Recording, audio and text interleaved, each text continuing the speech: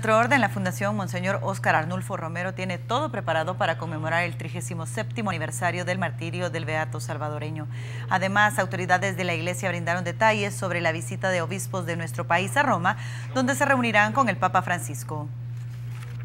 El Beato Romero es la figura religiosa más importante para los salvadoreños y este próximo 24 de marzo se cumplen 37 años de su muerte.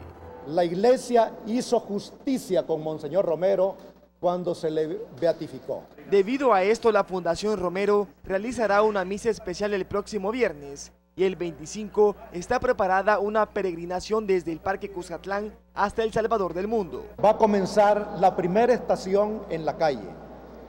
Después vamos a tener dos estaciones más en esa peregrinación que va a ser en el Don Pedro, la segunda. Y la tercera va a ser en La Joya. El lema es Beato Romero y los jóvenes peregrinos de paz. Luego se realizarán actividades culturales y una vigilia. Más o menos a las 9 de la noche comenzará la vigilia. Ya están los grupos invitados, por ejemplo Sierra Madre.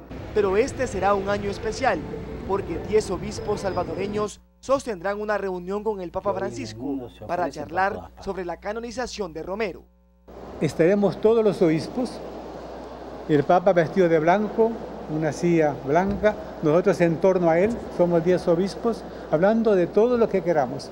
Esto es algo que parece de ciencia ficción. Además, invitarán al pontífice a nuestro país. Faltará que el gobierno también lo invite, porque él no puede ir a un país si el gobierno no lo invita también. El día martes se realizará una misa especial en el Vaticano.